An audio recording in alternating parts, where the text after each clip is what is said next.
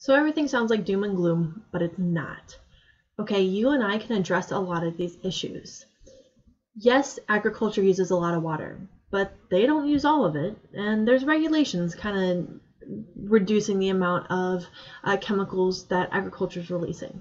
But agriculture is not releasing plastic pollution. Agriculture is not releasing lead uh, and flushing batteries and whatnot. A lot of that's on you and I.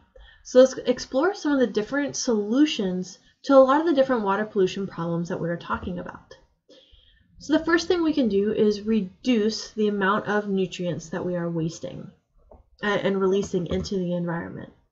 So for example, I mentioned one of the ways that we introduce nutrients is through soaps. Our laundry detergents, dish detergents, car wash soaps, there are nutrients in them, phosphates. Phosphates kind of do the scrubbing action of our soaps. So if we start purchasing products that don't have phosphates in them, that means we are not releasing phosphates into the environment. Now you might be thinking, well, they go to a wastewater treatment plant, like it doesn't matter if I use them. And you're right to a degree. But that wastewater treatment plant doesn't get rid of all the phosphates and all the nitrates. It gets rid of a lot of them, but not all of them. It can't be. It can't do it 100%. So you and I can do our part by just reducing the amount of you know chemicals in that waste. Related to car washes. If you are washing your car in your driveway, you should use a phosphate-free soap because in your driveway, where is that chemical going? Into the storm drain. And where's that storm drain going? Into the environment. So it's actually environmentally better to go to a car wash because car washes are hooked to the sewer system and they have an NPDES. So they typically clean the water a little bit before it even goes into the sewer system to actually be cleaned. But if you're washing it in your driveway, whatever soap you're using is directly entering the environment. What's really cool about living here in Maryland, as well as like 18 other states, is that phosphates are actually banned in the use of dish detergents.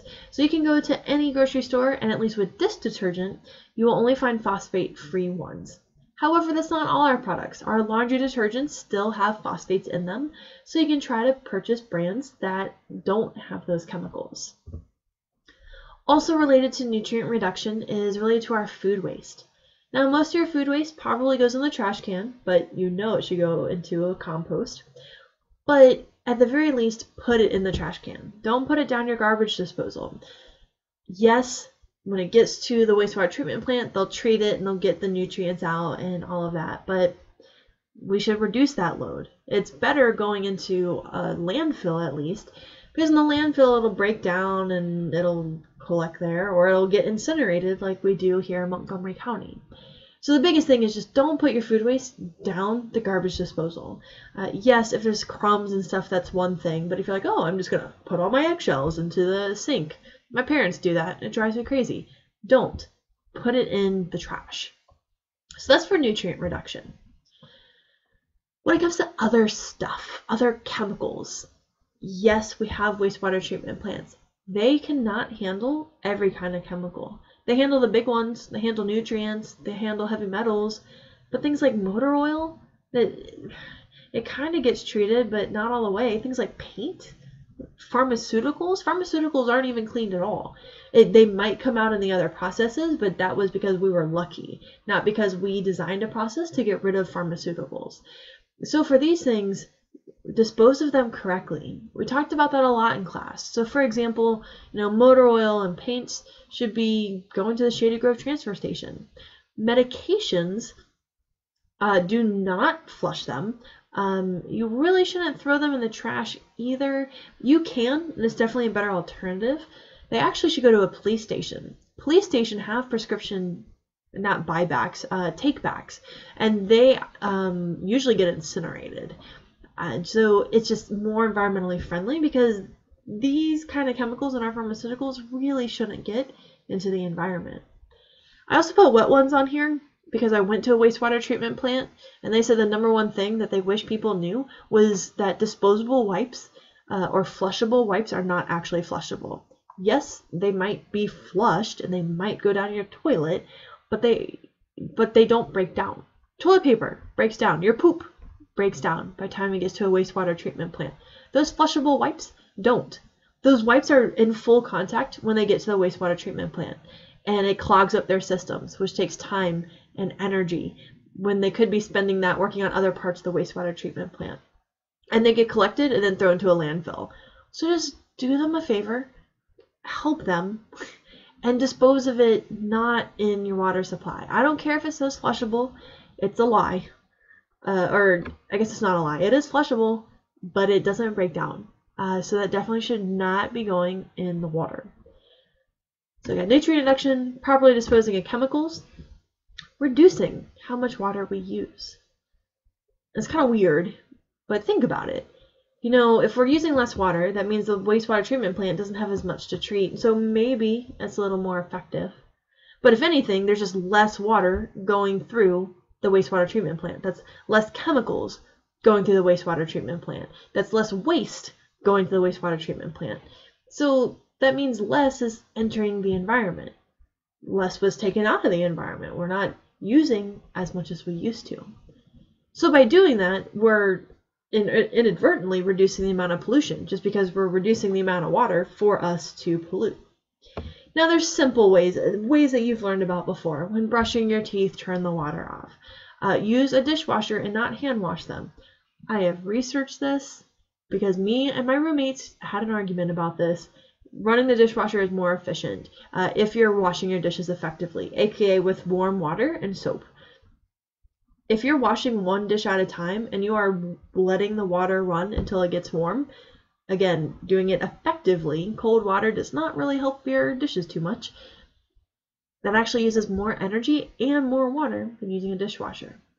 Now you might not recall this, but dishwasher was only about 1% of our water usage, but still, it helps. So those are kind of obvious ways.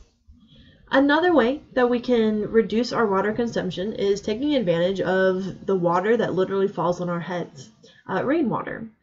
So this is an example of a rain barrel system. This is a pretty large rain barrel system where this person's gutters, which again, gutters are because water washes off your roof, uh, an impervious surface, this person is now collecting that rainwater and putting them into barrels.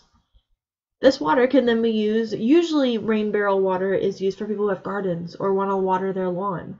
You could use it for internal uses, but maybe for like your toilet or something. You wouldn't want to drink this water, especially because it was running off of your roof. And depending on your area, there could be some air pollutants that are mixed with that water, but it it's saved, right? You don't have to use your house water to water your plants anymore. And a final example of a way we can reduce our water consumption is actually reusing our water. And this reusage of water is commonly referred to as gray water. Gray water equals uh, once used water. You may even think of this as dirty water. So this is water that I, I put dirty water in parentheses because it's not it like it came straight from the river. It has been through the drinking filtration plant. You've gotten it in your home, and so it is clean, but you have used it once before. So for example, in this system here, you have a sink that's getting that fresh water in, fresh brand new water. But then it's draining, so the drain here is at the bottom, it is draining over here which is this right here. It's draining into the toilet. We are using that sink water to fuel the water in the toilet. So yes, it's dirty water that had your hands and soap and stuff in it, but instead of that immediately going to the wastewater plant, it goes into the toilet.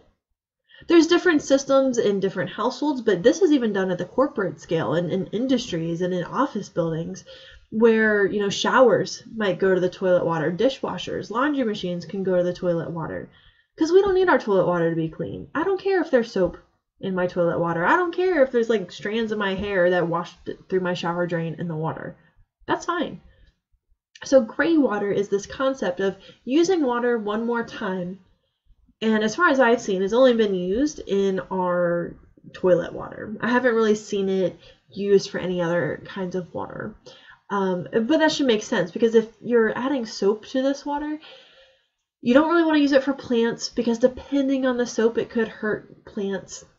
You don't really want to use your shower water for your like hand water because maybe, I don't know, you were really dirty that day and you don't want to wash your hands in it later.